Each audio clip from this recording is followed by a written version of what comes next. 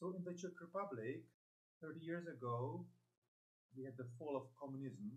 It's also called the Velvet Revolution.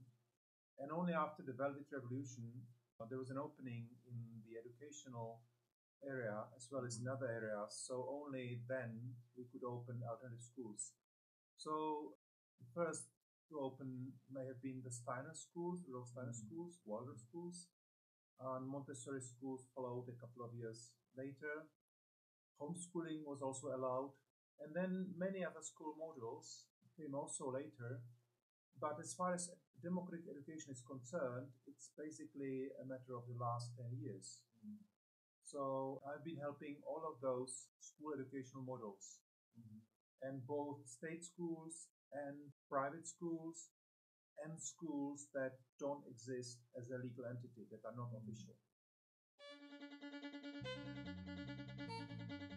This is the Agentic Schools podcast, where you will learn about schools from around the world where children's agency to make decisions about their learning and living is more important than their academic skills.